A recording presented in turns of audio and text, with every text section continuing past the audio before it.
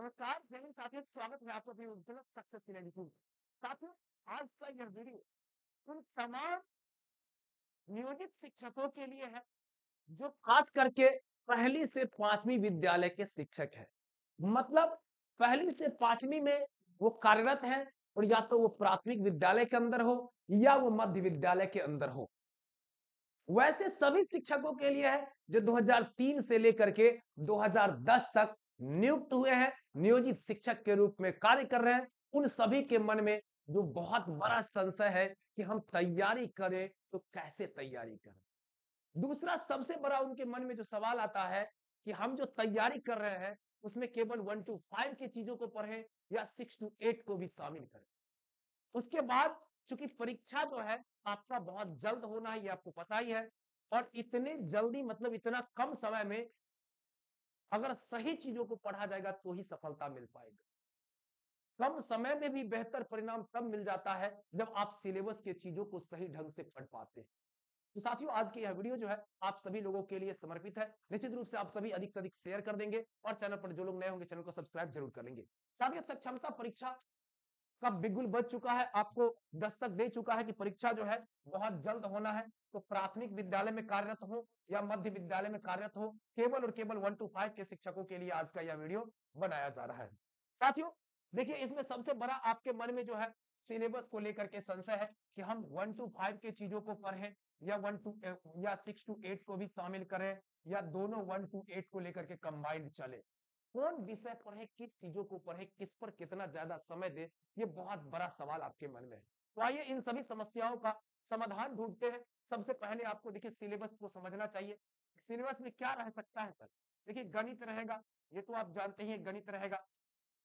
उसके बाद आपका ईवीएस रहेगा, उसके बाद आपका हिंदी रहेगा, उसके बाद आपका इंग्लिश के भी छोटे छोटे प्रश्न अंग्रेज़ी के कुछ रहेंगे, उसके बारे में भी जानकारी आपको देंगे। उसके बाद आपका पेडागोजी रहेगा। यानी शिक्षण कौशल जिसको आप कहते हैं। शिक्षण कौशल।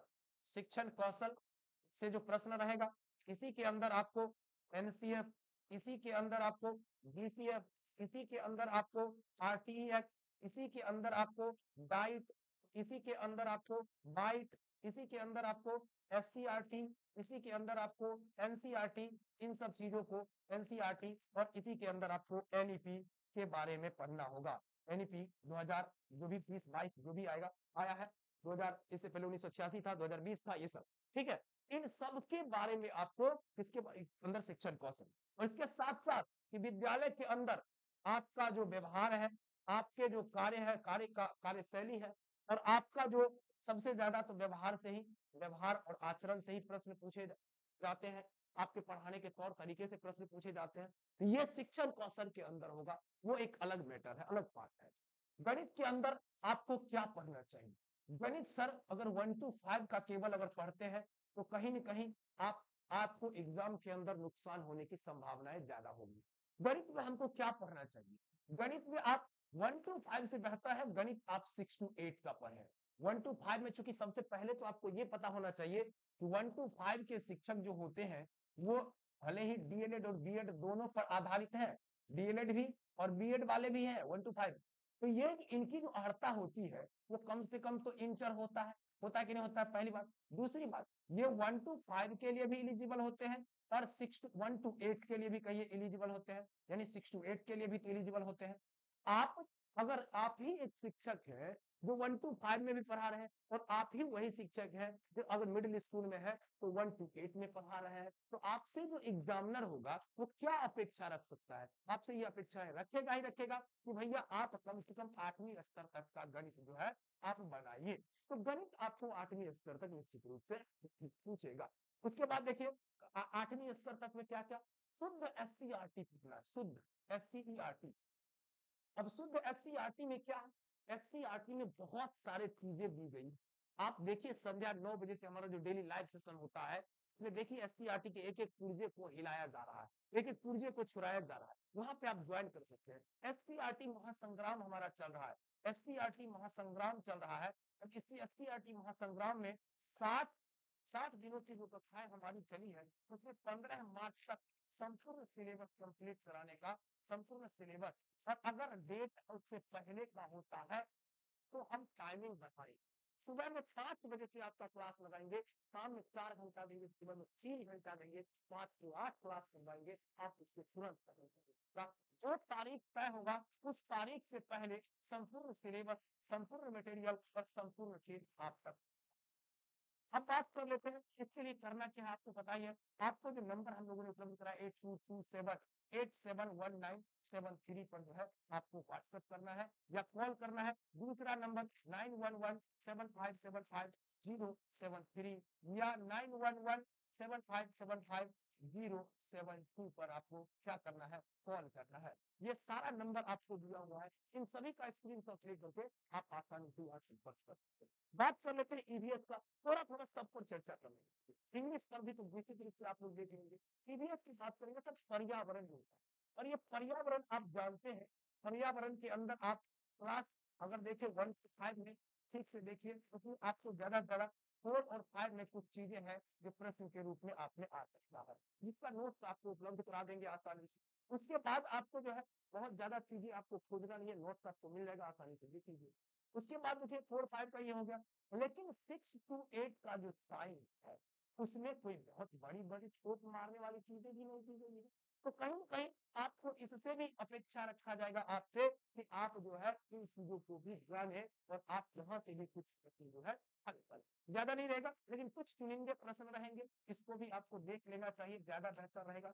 वही बात करेंगे हिंदी की हिंदी में सर क्या पूछता है? हिंदी व्याकरण बस व्याकरण तो आपको पढ़ना ही पड़ेगा सर। व्याकरण में हिंदी में हमारे रूदल सर देखिए एक से एक वीडियो आप तक पहुँचा रहे हैं, व्याकरण की बात कर रहे हैं।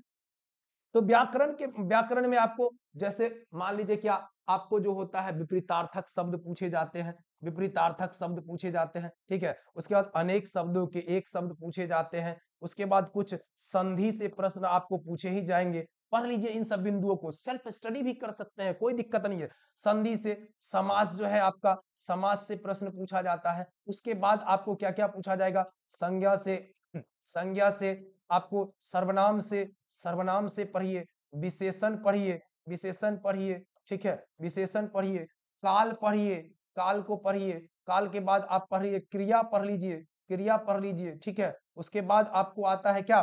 जो आप प्रत्यय होता है होता है ना? प्रत्यय प्रत्यय पढ़ लीजिए यहाँ पर, ठीक है? उपसर्ग पढ़ लीजिए, उपसर्ग पढ़ लीजिए। इन सब चीज़ों को आप पढ़ लीजिए, इसमें, ठीक है? हिंदी व्याकरण के अंदर इन सब टॉपिक को बढ़िया से कवर करके जाइए। एक भी प्रश्न आपका नहीं छूटेगा, लेकिन सर करना तो पड़ेगा। थोड़ा सा मेहनत करिए, थोड़ा स्वयं आप मेहनत करेंगे, थोड़ा हमारी टीम मेहनत कर रही है, बस दोनों लोग मिल करके एकदम शत प्रतिशत आपका सफलता हो जाएगा। अब बात कर लेते हैं थोड़ा सा आगे। सर बात कर लेते हैं इंग्लिश। इंग्लिश में डर होता है, बहुत सारे लोगों को लगता है कि इंग्लिश में क्या पूछ देगा। सर इंग्लिश में क्या पूछेगा? इंग्लिश में क्या पूछ सकता है? आखिर उसके पास है क्या पूछने के लिए? क्योंकि वो पूछेगा इंग्लिश में आपको बहुत बहुत वन टू फाइव के स्तर का। इंग्लिश में आपको टफ प्रश्न एक भी नहीं रहेगा, एकदम गारंटेड लिख लिख करके रख लीजिए। छोटा छोटा अपोजिट वर्ड रहेगा। अपोजिट तो आप जानते ही अपोजिट वर्ड क्या होता है? अपोजिट वर्ड रहेगा छोटा छोटा, वो भी रहेगा एकदम हल्का हल्का। उसके बाद छोटा छोटा प्रीपोजिशन रहेगा। प्रीपोजिशन देखते हैं ना, जो आपको क्लास थ्री फोर फाइव का जब आप लेते हैं हाफ़ ईयरली एग्ज़ाम लेते हैं ईयरली एग्ज़ाम लेते हैं तो देखते हैं उसमें छोटा छोटा प्रश्न सब रहता है। वही सब रहेगा प्रीपोजिशन जो है आपका प्रीपोजिशन से प्रश्न रहेगा हल्का हल्का। उसके बाद रहेगा आर्टिकल सर आर्टिकल्स से आपका छोटा छोटा प्रश्न रहेगा। उसके बाद आपका क्या रहेगा? साइनोनिम्स से प्रश्न रहेगा। साइनोनिम्स में छोटा छोटा प्रश्न रहेगा। मतलब कुल मिलाकर के अगर देखें तो छोटे छोटे प्रश्न ही रहेंगे और पाँच से दस तो प्रश्न पूछना ही पूछना है। ठीक है? ठीक है? पाँच से दस। उसके बाद आप नंबर पढ़ सकते हैं। नंबर में सिंगुलर नंबर प्लूरल नंबर होता है। होता है ना? नंबर होता है तो नंबर को पढ़ सकते हैं। तो छोटी छोटी चीज़ें ही आपको इंग्लिश में पढ़ना है। बहुत हार्ड एंड फास्ट पर नहीं जाना है, ठीक है? उसके बाद आइए थोड़ा सा सामान्य अध्ययन की चर्चा कर लेते हैं। सामान्य अध्ययन में क्या क्या पूछा जा सकता है? सामान्य अध्ययन के रूप में अगर देखे, सामान्य अध्ययन के रूप में देखे अगर तो।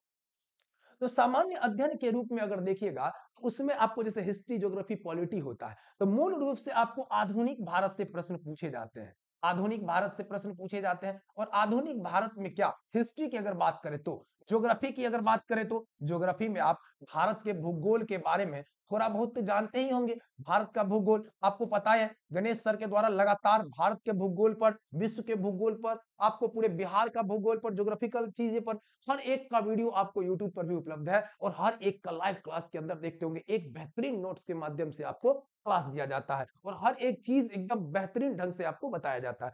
आधुनिक भारत पर थोड़ा सा पकड़ बना लेंगे कि भारत आज़ाद कब हुआ कैसे क्या हुआ इन सब चीज़ों के बारे में ठीक है? महात्मा गांधी के योगदान को बढ़िया से समझ लेंगे। ये सब बिहार के जो प्रमुख नेता सब थे उनका योगदान क्या रहा है उसको देख लेंगे। बस छोटे छोटे प्रश्न एकदम वन लाइनर ज़्यादा ज़्यादा मतलब गहराई में नहीं जाना है वही सब प्रश्न। भारत का भूगोल अगर पॉलिटी की बात करिएगा तो स्वतंत्रता संग्राम से संग्राम में जो मूल रूप से अगर देखिएगा तो पॉलिटी में क्या है? संविधान का निर्माण है। वहाँ से प्रश्न पूछते हैं।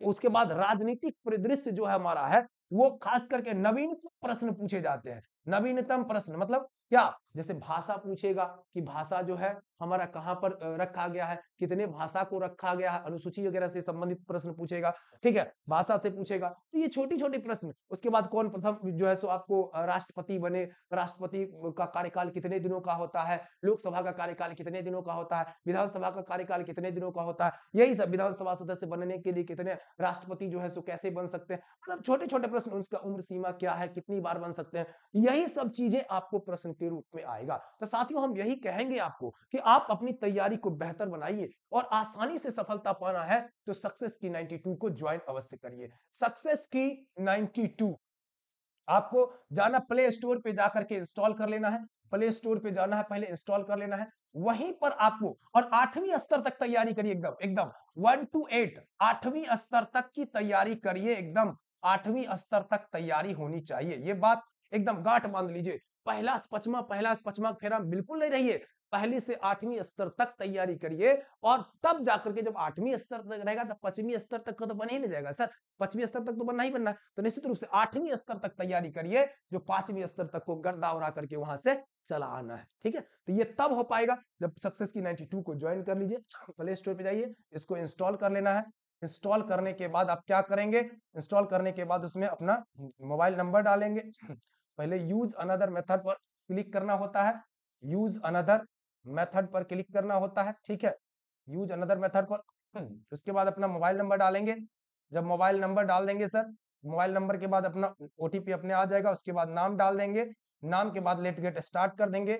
लेट गेट स्टार्ट कर देंगे और स्टार्ट करने के बाद जो है आप जो नंबर हम लोग उपलब्ध कराए हैं आपको nine one one seven five seven five zero seven two, nine one one seven five seven five zero seven three, उसके बाद आपको eight two two seven eight seven one nine seven three.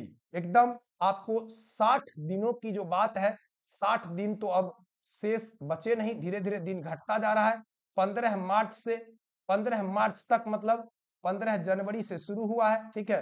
पंद्रह जनवरी से पंद्रह मार्च तक में संपूर्ण सिलेबस का आपको जो है लक्षात्मक ढंग से खत्म कराया जाएगा। इसी के अंदर live class recorded video test PDF हर चीज़ आपको उपलब्ध कराया जा रहा है। संपूर्ण तैयारी आपकी हो जाएगी। 100 परसेंट सफलता चाहिए तो आप लोग निश्चित रूप से ज्वाइन कर सकते हैं। चलिए बहुत बहुत धन्यवाद। अधिक से अधिक शेयर करिए साथियों अधिक से अधिक दोस्तों तक शेयर ज़रूर कर दीजिए। उन सभी साथियों को बताइए कि सिलेबस आखिर रहने वाला क्या है। चलिए बहुत बहुत धन्यवाद।